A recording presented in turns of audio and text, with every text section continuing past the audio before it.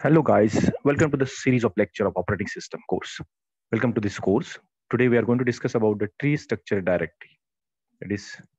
this is what the directory structure. Before this video, we have discussed about the two level directory and the single level directory structure. Now it's time to discuss about the tree structure.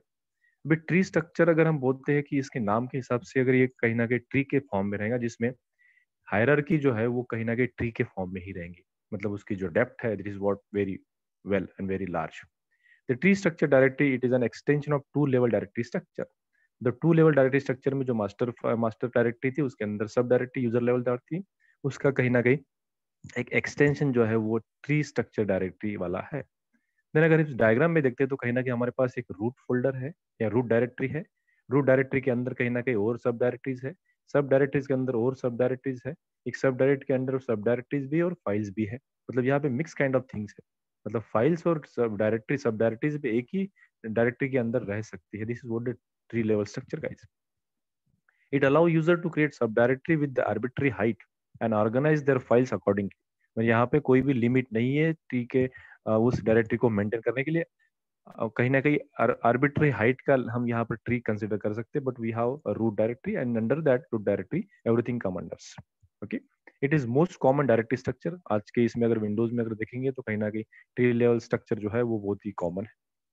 It support both directories that is current and working directory, as well as it support for the both paths, that is absolute and relative path. अभी current और working directory and absolute and relative path absolute path मतलब क्या है कि एक file के तरफ़ पहुँचने के लिए कहीं ना कहीं हमारे पास एब्सोल्यूट पाथ जो है वो कंप्लीट पाथ अगर मैं बोलता हूँ कि एबीसी टेक्स्ट अगर इसमें जाने के लिए हमारे पास जो पाथ है कर एब्सोल्यूट पाथ बिन से जाएँगे, मेल से जाएँगे प्रॉक से जाएँगे, लिस्ट से जाएँगे। This is what the absolute path अगर रिलेटिव पाथ की बात करेंगे तो कहीं ना कहीं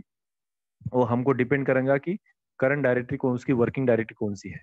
कहीं ना कहीं हम उसको भी देखने की कोशिश करते हैं। So absolute path is what the full path and relative path is what the some kind of partial path the absolute path begins from the root and end to the file and relative path defines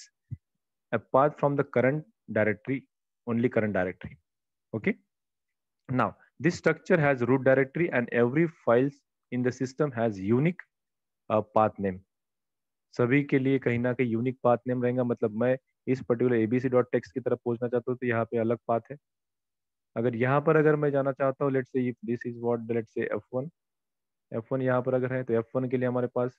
अलग path है। यहाँ पे अलग path है। ये path रहेगा हमारा। Sorry this path will be there every every every files have a unique path name to their particular files and folders this this structure provided efficient searching of file because we have a path name so searching would be very easy unique searching होंगी यहाँ पर कहीं ना कहीं fast searching भी होंगी tree structure directly provide the grouping of grouping capability में यहाँ पर प्लेंटी ऑफ़ ग्रुप्स तैयार है uh, मतलब सब डायरेक्टरीज क्रिएट है क्योंकि बीन के अंडर हमने मेल मेल, मेल नाम का सब डायरेक्टरी बनाया मेल के अंडर प्रॉक है और उसके बाद एक्सपी भी है एक्सपी के अंदर डायरेक्टली फ़ाइल और प्रॉक के अंदर और सब डायरेक्टरीज है लिस्ट है ऑब्जेक्ट्स है, कोई भी कुछ भी हो सकता है, यहाँ पर ये टी लेवल डायरेक्टरी स्ट्रक्चर है। तो यहाँ पे absolute and relative path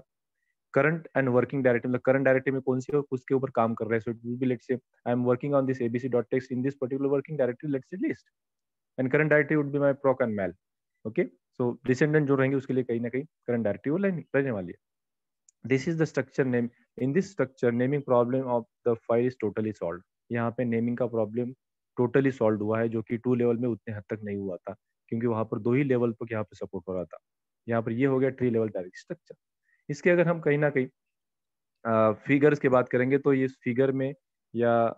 आ, उसमें figure shows the directory structure in which the users want to access the abc.txt that absolute path is what the root bin mail proc list जैसे मैंने बोला था dot text that is root to specific file name and relative path will be proc list abc.txt यहाँ देखो मैंने बोला था कि अब करंट डायरेक्टरी कौन सी है इसकी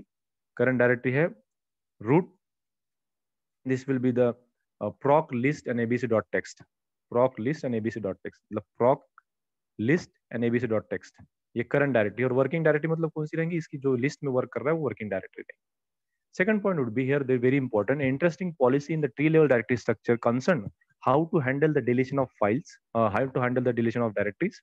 If it is empty then it simply can be deleted मतलब वो डायरेक्टरी के अंदर फाइल्स नहीं है तो सिंपली डायरेक्टरी डिलीट हो सकती है. But if the directory to be deleted is not empty then to delete the directory user must first delete all files in that directory मतलब क्या? कि एक डायरेक्टरी के अंदर अगर कुछ फाइल्स अगर है तो कहीं ना कहीं मुझे वो डायरेक्टरी डिलीट करना है तो मुझे सबसे पहले फाइल्स को डिलीट करवाना पड़ेगा. Then I can go for the deletion of the directory but if there is no files i can directly delete the directory itself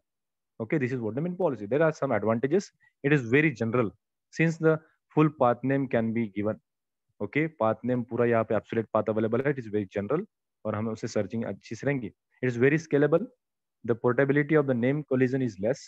probability of the name collision is very less मतलब यहाँ पे minor uh, level पे ही कहीं ना कहीं collision होगा जो naming का प्रॉब्लम यहाँ पे कोई नहीं है searching becomes very easy you can use we can use the both absolute path as well as the relative paths user can be allowed to access in addition to their files the files of the other users so in between uh, that users this, this is what the slight uh, advantage over here users can be allowed to access in addition to their files the files of the other users other users के files भी वहाँ पर एक ही radar में रहेंगे तो कहीं ना कहीं access कर पाएंगे but there are some disadvantages guys uh, every file does uh, every file does not fit into the hierarchical model files may be saved into multiple directories okay तो multiple directories में save किया जाए the we can not share the files actually because ये जो हमने बात की थी sharing की ये उसके यूज़र के लिए बात की थी पहले इसमें एडवांटेजेस में ये जो बात कर रहे हैं हम कहीं ना कहीं यहाँ पर फ़ाइल का शेयरिंग नहीं मतलब एक फ़ाइल को दूसरा यूज़र दूसरे डायरेक्टरी वाला वो शेयर नहीं कर पाएगा एडिशनली वो नहीं शेयर कर पाएगा। It is inefficient because accessing a file may go under multiple directories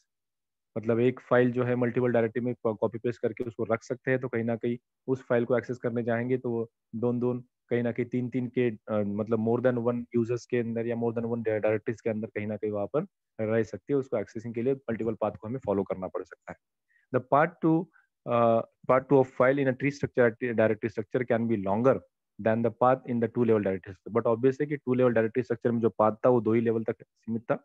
लेकिन यहाँ पर ट्री स्ट्रक्चर में कहीं ना कहीं जो पाथ है वो बहुत ही ज़्यादा लेवल पे बढ़ सकता है। मतलब बड़े बढ़ेगा ही इसके लिए हम कहीं ना कहीं यहाँ पर एक छोटा सा हम डेमो देखने की कोशिश करते हैं कि क्या होगा। I am going to let say my C M D my command from and typing one command and that command is what the tree. And look at this particular uh, hierarchy of this particular a C drive. If I go with the D drive, guys, and finding the uh, firing the command tree, so it is showing me whatever the trees are available, whatever the subdirectories and directories are available with me. Okay, so this is what all the about the two level three level directory structure यहाँ पे पूरे के पूरे कहीं ना कहीं जो list है वो अवेलेबल हुई है जो कि ट्री के फॉर्म में अवेलेबल हुई है अगर यहाँ पे डेटा कम है इसलिए वो छोटी सी लिस्ट है लेकिन अगर हम बहुत बड़े अगर डेटा के ऊपर अगर उसको चलाते तो ये दिस वुड बी एंडलेस यहाँ पर कहीं ना कहीं उसकी हायरार्की जो है वो कहीं ना कहीं बहुत ही बड़ी हायरार्की होगी so this is what the uh, total idea about the tree level data structure guys but here the file sharing is not possible directly